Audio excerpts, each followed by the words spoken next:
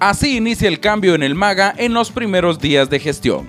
Aportamos a una nueva vida a 17 felinos en alianza con Animal Defender International. Se presentó el plan de facilitación para la exportación de ganado bovino para exportar a México. Se impulsaron procesos para garantizar inocuidad de productos marítimos que se exportan a Europa. Se ha sumado el MAGA a la gran cruzada por la nutrición firmando una carta de entendimiento interinstitucional.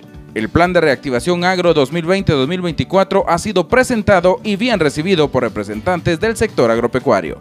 Y se ha impartido la nueva capacitación en riego a técnicos y profesionales del Ministerio en nuevas tecnologías para replicarlas a nivel nacional, priorizando el corredor seco.